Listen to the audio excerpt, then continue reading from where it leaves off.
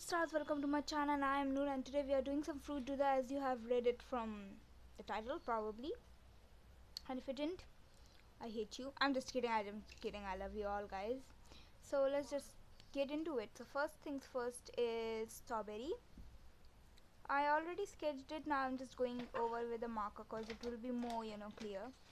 First is strawberries. It's really easy. You just like draw like a circle like a circle and then go like triangle. So it's really easy. And mango which is probably most of you guys favorite if i'm not wrong. Oh my god it just turned out yuck.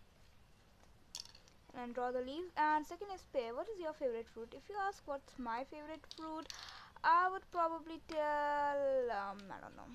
Oranges i think. I don't know. Now next is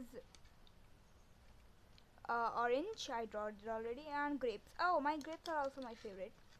Wait wait I like grapes. No I like I like a lot of fruits don't even ask. I especially like kiwi but I don't remember how kiwi looks so that's a problem. Oh, oh I know this is dragon fruit. I never uh, drag it or drag it. Please tell me in the comments.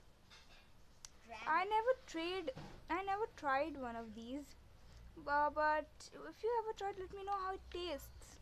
I really want to know I want to try it one time.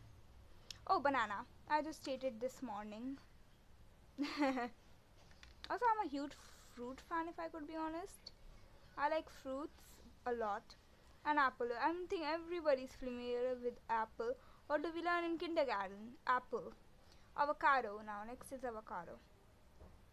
Oh my marker um don't know about to say avocado because i never ate one but i made like a squishy pineapple. It's my oh look at this bag. It's so it's so nice. It's kind of like hey, not my friend, little sister but like kind of my bigger sister favorite fruit.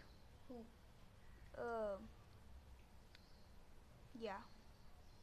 Really easy to draw pineapple now no it does not have to be specifically black doodles but you can do any doodles you like.